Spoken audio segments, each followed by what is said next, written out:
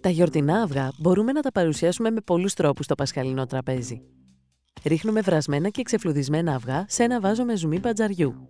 Το αφήνουμε στο ψυγείο περίπου 24 ώρες. Τα αυγά ρουφάνε το χρώμα του και γίνονται φούξια. Τα κάνουμε κοτοπουλάκια. Φτιάχνουμε λοφείο και ουρά με κόκκινη και κίτρινη πιπεριά.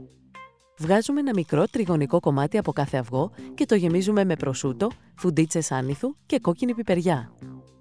Φτιάχνουμε προσωπάκια χρησιμοποιώντας λαχανικά. Μάραθο για μαλλιά, πράσινη ελιά, κρεμμυδάκι για μαλλιά και στόμα, κόκκινη πιπεριά, γαρίφαλο, προσούτο. Φτιάχνουμε devil eggs, μια συνταγή πολύ συνηθισμένη στο εξωτερικό.